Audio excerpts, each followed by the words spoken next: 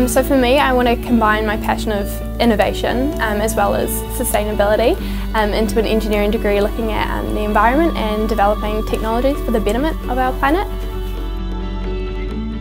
It really started for me when I was looking around my physics and chemistry and calculus classes and I saw you know, five other girls in a class of 30 um, and that was quite terrifying. And I thought, you know, year nine girls walking down the hall and looking into these classes, if they're not, if they're seeing majority males in the classes, there's almost an element of that you can't be what you can't see. And even subconsciously, they're going in there and they're seeing a place that's not them or that they can't see themselves in. And it's starting a little bit of a cycle.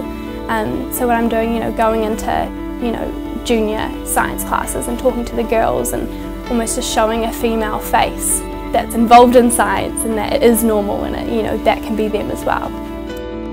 I just think looking forward at our future, um, climate change is one of the biggest issues facing our generation. Um, we're at the point now where it's not just you know a polluted river and some you know rubbish in the forest. Like um, there's lives at risk. You know there's tens of millions of people in Bangladesh who in the coming century are going to become um, climate refugees um, as well as in Kiribati where their country is being eroded away by sea level rising. Like it's not something that we can ignore anymore and as a generation we need to step up and address it.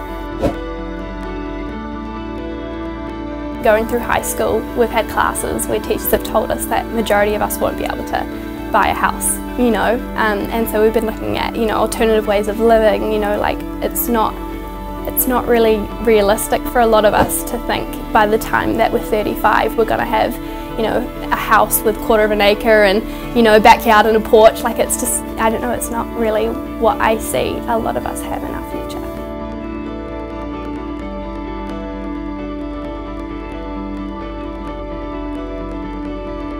For our generation, it's looking at what our future is going to look like because there's so many different issues facing our generation, you know, with the increased housing prices and, you know, climate change and how that's going to affect our jobs and where we're able to live and how we're able to live.